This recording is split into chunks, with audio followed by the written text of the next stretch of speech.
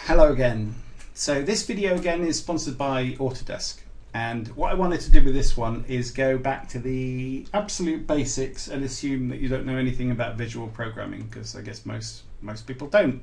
I didn't before I started meddling around with ICE and my first impression was that it's incredibly complicated and not for people like me and that's what a lot of people would automatically assume and I don't see that that's a um, unreasonable thing to think. However, it is a lot easier than it looks and it enables you to pretty much do whatever you want to do to a mesh or you know anything which involves points. So okay, so a mesh is made up of points and polygons that go between them or faces. Um, and what Bifrost allows you to do, so if I start a Bifrost graph here, is bring objects into Bifrost. I mean, it allows other stuff as well, but you can bring objects into Bifrost, and that appears here as a mesh. And then you can do stuff to it, and then output, and outputs a BIF, which is just, uh, you know, it's the that's the input object. The BIF is the output object. Now, if I look at this, so what's going on here is a bunch of data, different types of data, which you know the mesh is, is the input here. Um, if I look along the um, pipe, basically all of these bits of info are like traveling along the pipe. So, you know, face component, face offset. I don't, you know, I don't use most of those. Most of this stuff I'm just doing with points. So the, the point normal and the point position are the most useful thing if you're doing, um, you know, deformation stuff. You do use this other stuff occasionally, but you know this is really all you need to worry about for, the, for when you start off.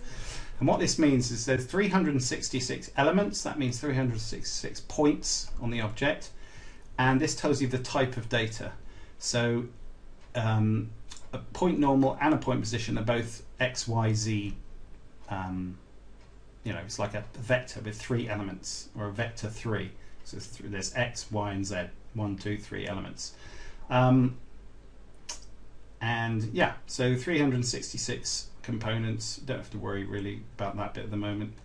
And that's it. So so a list of um, because it's not just like a if you had an object with a single point, it would just be one bit of data going through here. Because we've got 366, each of those things are doing the calculations along here. So it's an array of an array is basically like a list. So if we wanted to get the point position and just deal with that, we'd do get point position, plug that in, and then we could also set point position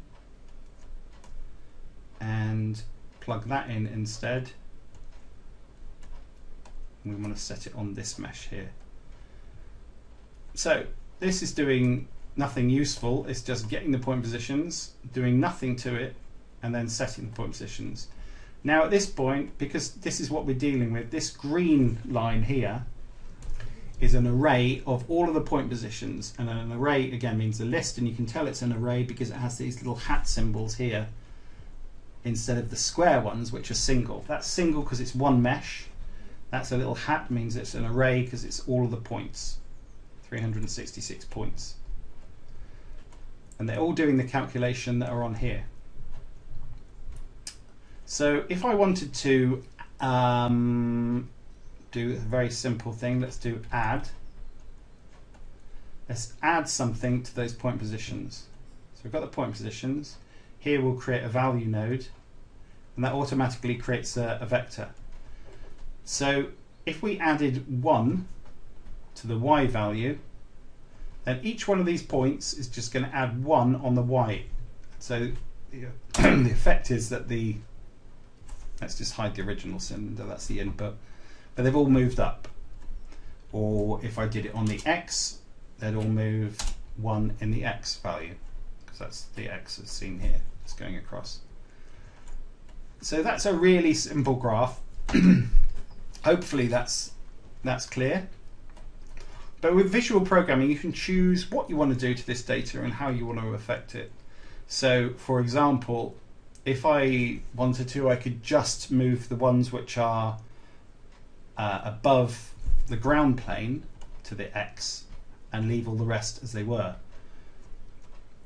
So to do that, I'd have to first of all um, find out which points are greater than zero, which is the ground plane, on the um, one going up, which is the y. So I'd get the point position, and then I'd split that into the x, um, the z, you know, x, y, z coordinates. So to do that, there's a node called um, vector vector three because it's three values to scalar, which is just basically the, the individual values.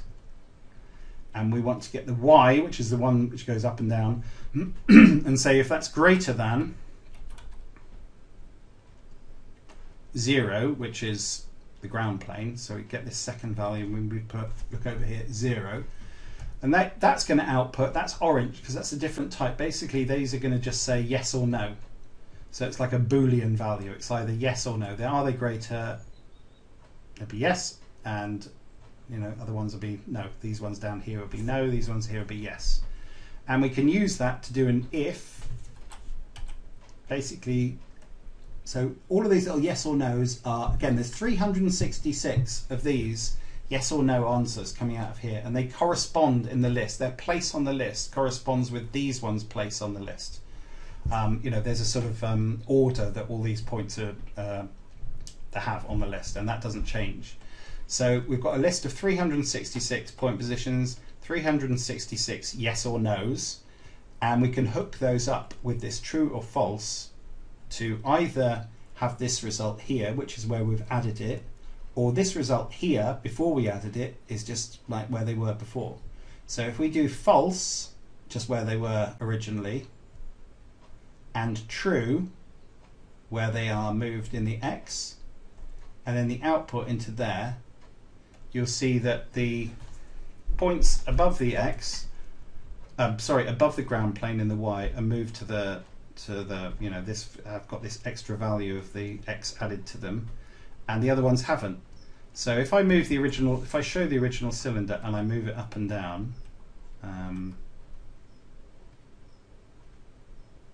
you'll see the BIF object, which I'll just move the BIF object to the right just as it's more obvious. As this one here goes up and down, you can see that as soon as the points on this one here, this is the input geometry, as soon as they go above zero, then they get flung to the right because this other one in the x-axis is being added to them.